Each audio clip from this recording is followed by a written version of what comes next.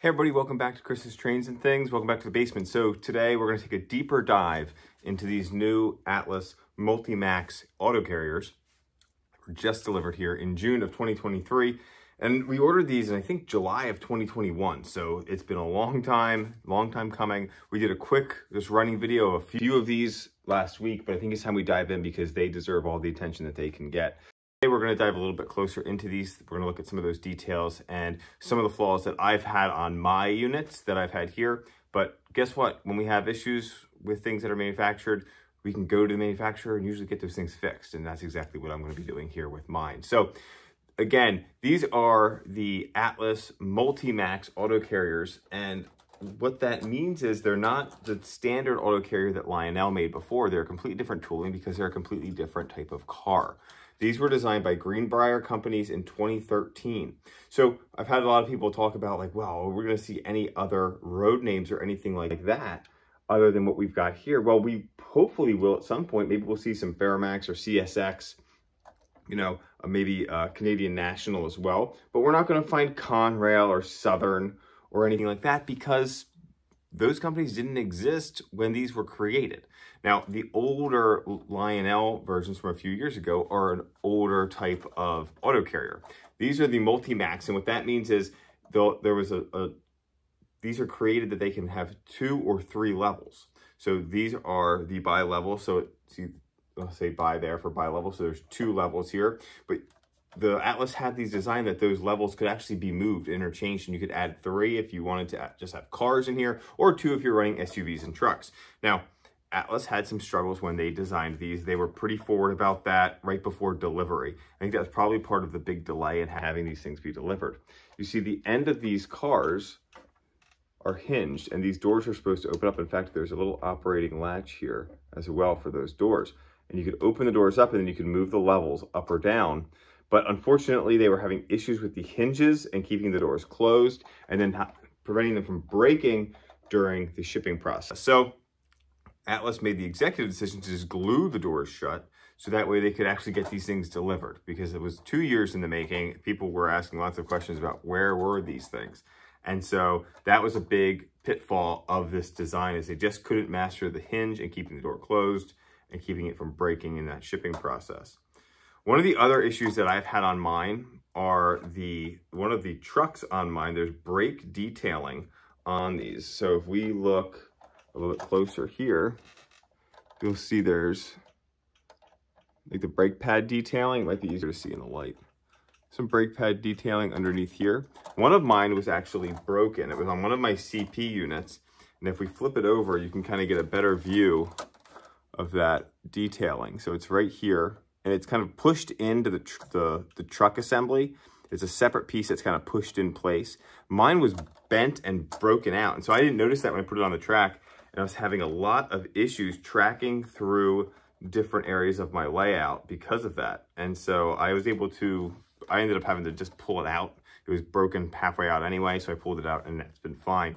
And honestly, that's not a huge detail, so you're probably not gonna see too much of that anyway as we kind of go through this. Um, you know, you're running these, you're not gonna see that brake pad too much, but that was a bummer. Um, I did contact Atlas to get a new truck for that. And then one of my buddies also mentioned he's had some issues with his couplers, just I guess uncoupling or so on. They do seem to have cheapened up on the couplers themselves. The trucks are plastic. They're not, from what I can tell, they're plastic. They're very light. Um, you know, this is just, it just seems a little flimsy for me. You know, Lionel has the kinematic couplers, which I think would have probably been a better design for this. Now, obviously, they don't, those are probably proprietary for Lionel, and then they didn't have that design built in uh, to these these auto carriers, which is kind of a bummer. But that's one one of the other things that I would complain about. But they have been tracking fine since I fixed the brake issue. And the detailing on these is pretty nice. So let's dive a little bit closer in. We'll look underneath it as well and talk about all those neat details. So the, the detailing on the bottom, just if, if you look underneath the brake detailing, this is the BNSF version. You see all the, the hosing and things like that for the brakes. Now these are these are quite heavy. These are have a die-cast metal frame underneath and then an ABS plastic body. They weigh about three pounds, three ounces, the Lionel version, one pound, nine ounces. So these are significantly heavier, which allows them to be part of a really long consist and not tip over when you're going around a curve. The Lionel versions are a little light. They have a tendency to fall off or get pulled off of a curve just because of their length and the fact that their, their center of gravity just isn't there. These things have really nice low center of gravity because of that design. There's also some really significant detailing along the sides here as well. You'll see the like the chain detailing in here and so forth. So really nice detailing there. And then all of the legible writing, markers, the just uh, identifying and warning signs and things like that. Even if we spin around here to look at the doors, lots of nice legible detailing. So really, really well done. These things just look fantastic as they're going around the layout. Now, Atlas offered five road names and four road numbers for each road name. So do the math, you could have gotten 20 of these with I was able to pick up one of, at least one of each. I've got three BNSF, one is not here yet. I've got two CP, another one's on the way. I've got one Norfolk Southern, one NS with another NS on the way, and then one of the KCS versions as well. So really uh, great additions to my collection. And it's tough to just have one of these or two.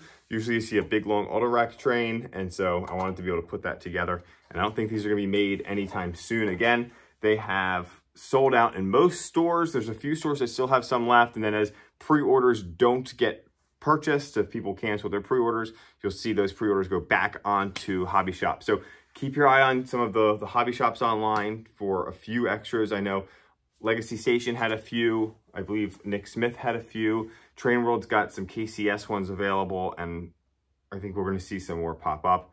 I also believe Charles Ro had a few left as well, but not many. My buddy Jason out in Detroit sent a picture from Great Lakes Hobby. They had about six left on their shelves, and that was Saturday. So whether those are still there or not is going to be tough to tell. So really, really neat. I'm sure that we'll see these on eBay for well over the price. I think, they MSRP'd for right around $139, but pre-order was right around 125. In fact, you can still get them for under 130 from a store, and I don't think we'll ever, ever see that price again for this type of car. These things are monsters. They do require 072 curves, so you're gonna need a big layout to run these. They were available in three rail and two rail versions as well. So if you're a two rail person, you could always grab that. But again, Atlas, that's kind of what we've come to expect. Now, someone might ask, is this XMTH tooling? No, this is brand new tooling, Masterline tooling from Atlas. They are fully scale. They're very, very long. They take up a lot of space.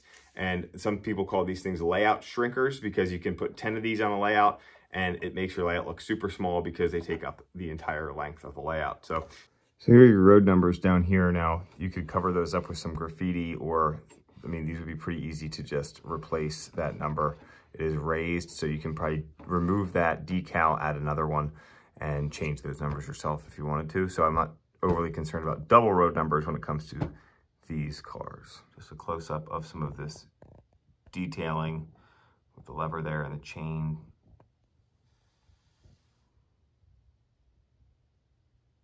Just really, really fine details on this car.